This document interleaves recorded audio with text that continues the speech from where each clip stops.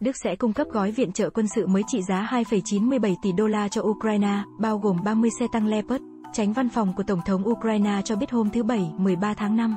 Trong một bài đăng trên Telegram, Tránh văn phòng Andriy Yermak cho biết Berlin cũng sẽ cung cấp 4 hệ thống phòng không Iris-T, 20 xe bọc thép chở quân Marder, 200 máy bay không người lái trinh sát, 100 xe bọc thép và một lượng lớn đạn dược.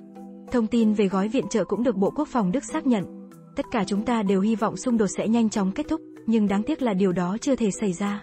Đó là lý do vì sao Đức sẽ cung cấp mọi sự hỗ trợ, miễn là cần thiết, Bộ trưởng Quốc phòng Đức Boris Pistorius nói trong một tuyên bố. Tạp chí Đức Der Spiegel là tờ báo đầu tiên đưa tin về gói viện trợ, được coi là lớn nhất từ trước đến nay của Đức cho Ukraine.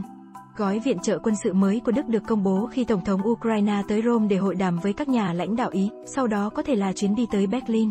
Truyền thông Đức đưa tin ông sẽ đến Berlin để gặp Thủ tướng Olaf Scholz và Tổng thống Frank-Walter Steinmeier, đồng thời nhận giải thưởng Salemanier tại thành phố Aachen phía tây nước Đức vào Chủ nhật 14 tháng 5. Giải thưởng Salemanier là giải thưởng được trao cho những cá nhân và tổ chức có đóng góp cho sự đoàn kết của châu Âu. Tổng thống Ukraine, Volodymyr Zelensky và người dân Ukraine đã giành được giải thưởng Salemanier năm 2023.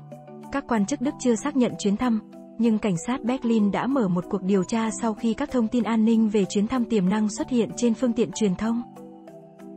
Cảm ơn các bạn đã xem bản tin.